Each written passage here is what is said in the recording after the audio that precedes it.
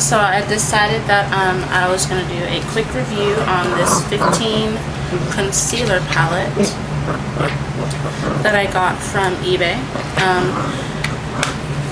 it's a pretty good palette. I used it today on my under eyes right here and I mixed, I had to mix colors for my skin tone but I used the yellow which is right here and then I also used these two colors the bottom, the darkest bottom and the one at the top to mix for my color and it works out pretty well um, I'll do an this is just like my first impressions kind of video.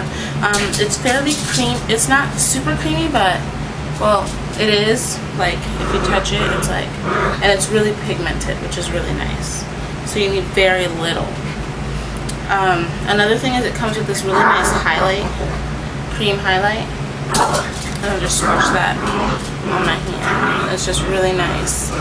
So, um, I only paid $5 for this. And I'm pretty happy because now I can put this in my kit. So for like beginning makeup artists, I would actually really suggest this because then you can just mix.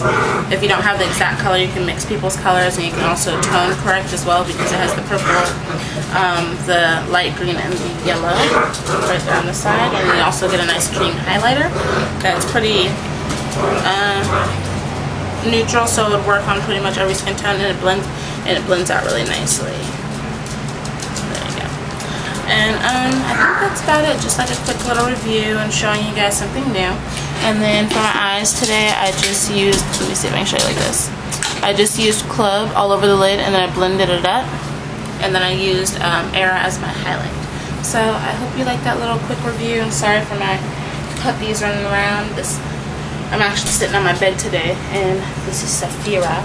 She's a lickathon. But yeah. Um, stay happy and healthy and beautiful, you guys. Alright, have a great day. Bye.